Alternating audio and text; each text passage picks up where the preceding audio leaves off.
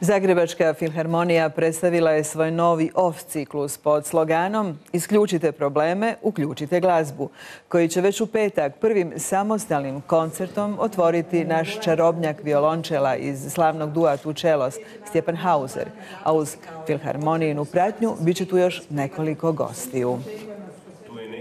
Vraćam se malo klasici, uvijek je lijepo vratiti se klasici, to je uvijek dio mene, to je u meni. I ovaj, odlučio sam svirat najljepšu glazbu ikad napisanu. A to je nešto, to su vrlo dobro znane melodije svima, ne samo klasičnim ljubiteljima klasike, nego i široj publici.